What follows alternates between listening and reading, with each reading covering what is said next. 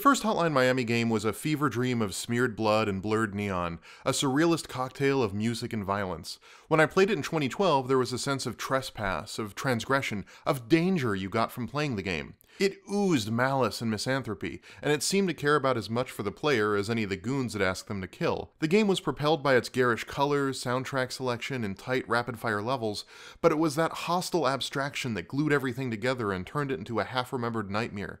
It doesn't make sense and it doesn't need to. It operates with a sort of dream logic where phone calls are enough to make you commit murder, contradictory timelines can coexist, and the world is a series of nightclub floor plans floating in negative space. It is the violent video game id, a manifestation of base impulses for us to simultaneously indulge in and be repulsed by.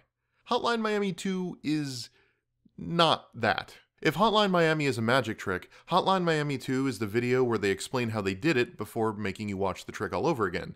Yes, it's the same trick, and it's a good trick, but the magic came from not knowing how it was done. Hotline Miami 2 is a haunted house with all the lights on. It's still a series of rooms with scenes of blood and gore, but the sense of fear and danger and confusion are gone. Hotline Miami 2 is the harsh light of day after a party the night before.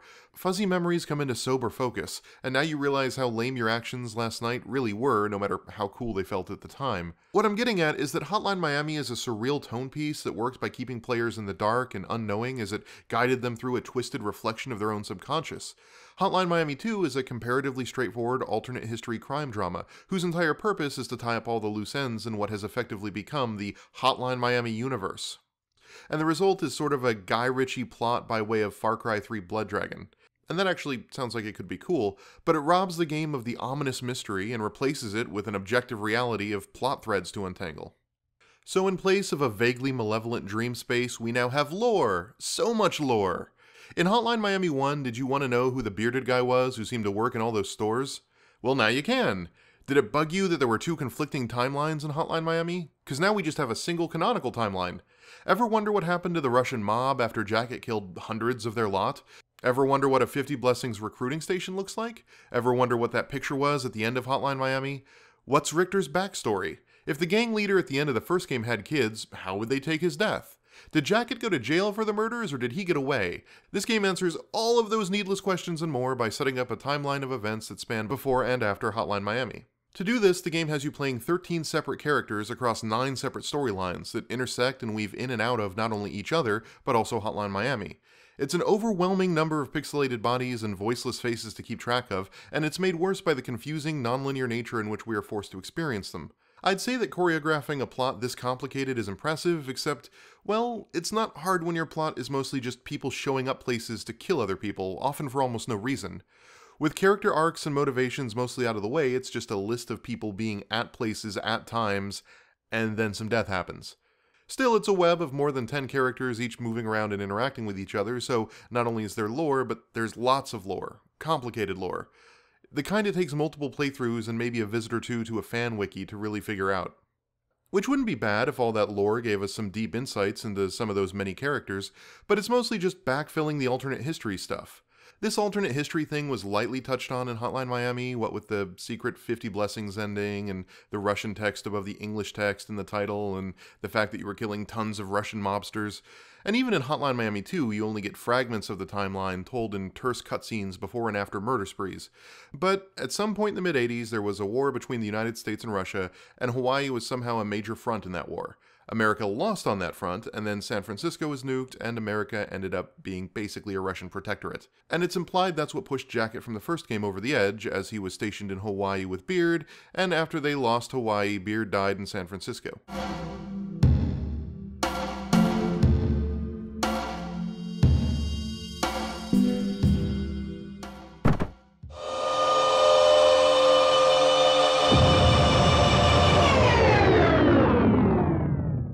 After San Francisco got nuked, the 50 Blessings started as basically an American nationalist movement rebelling against Russian rule by getting randos to kill Russian mafiosos who had apparently moved into Miami by the hundreds. The story still doesn't really make any sense, but anyway, then Hotline Miami happens. Then there are bits after Hotline Miami that mostly explore how Jacket influenced the lives of some vigilantes and how the Russian mob slowly clawed its way back despite all the people it lost. Then the world ends when American nationals kill high ranking Russian and American officials, and Russia launches the nukes, and the game ends with a montage of characters we've barely gotten to know, all getting turned to dust. The end. And for a story explaining why a series of video game levels exist, it's fine. Functional. It takes the universe and expands it and gives it the where and when and how of Hotline Miami and what happened afterwards. I just didn't get anything out of it. It didn't use its alternate history to comment on or examine actual history or make parallels to the modern day. If anything, the Nationals fighting Russian invasion thing is a little awkward now where it wasn't in 2012. Also, I don't feel like I really appreciate Hotline Miami 1 anymore because of this. If anything, I'm a little uncomfortable with how it reframes Jacket's experiences in Hotline Miami. Outside of context from the second game, Hotline Miami is just a surreal little title. But with Hotline Miami 2 giving it context and an objective reality to ground it, all the weirdness that plays out in the first game, from seeing dead people to Beard working at every store to murdering people over phone calls, seems to imply a degree of mental instability on Jacket's part, likely stemming from PTSD from his war days, and that's the kind of deeper understanding that actually kind of makes the first game more uncomfortable and less enjoyable. Also uncomfortable? The opening scene where sexual assault is implied, but it's okay because they were just filming a movie, inside of a movie, inside of a game. They toy with this metatextual concept a bit. The pause menu is a nice touch. But this faux assault is the only time it really comes up, and I suspect it only comes up to get away with including the faux assault. Dennaton knew it didn't really add anything, and it wasn't core to the story or the mythos, so they made it skippable, but it's still there, an indulgence on the part of the developers. And that's how most of the game feels indulgent. It's like they did to Hotline Miami what Peter Jackson did to The Hobbit. It's about three hours longer than it needs to be, and it tries to turn a small tone piece into this epic about violence, nationalism, and the end of the world. And it just doesn't earn any of that because the whole thing is told in half paragraph vignettes in between hour long murder sprees. And that self indulgent bigness comes across not just in the scope of the story, but the size of the levels. Hotline Miami levels were short, mostly, but Hotline Miami 2's levels are sprawling affairs with multiple segments all loaded with dangerously long hallways and open spaces. You will die from bullets fired by goons off screen. A lot.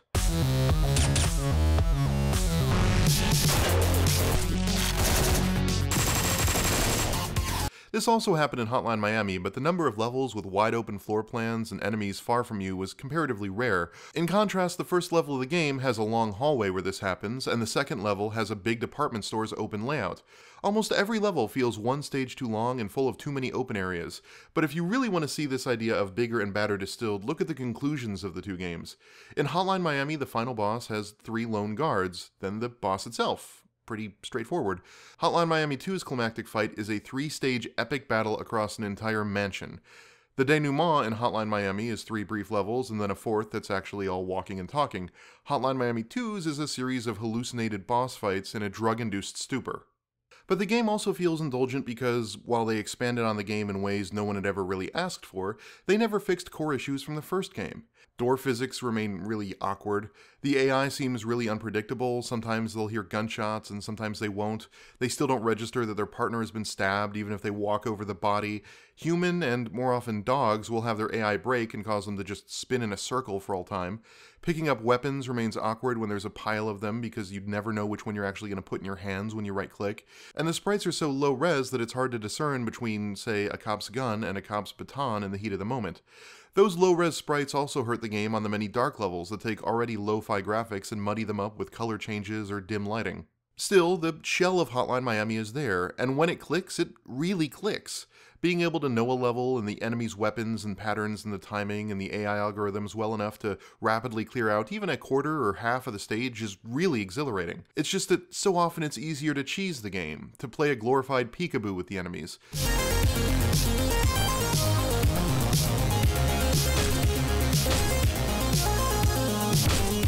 Because the levels are so large, they take a long time to clear, so death becomes a bigger punishment than it used to be.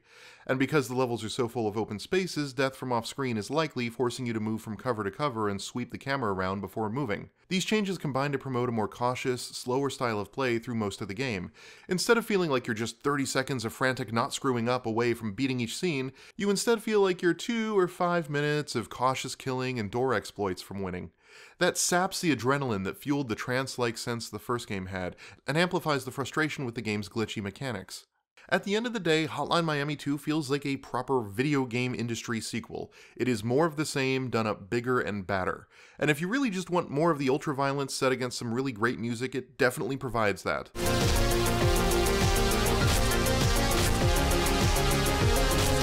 But all the magic is gone.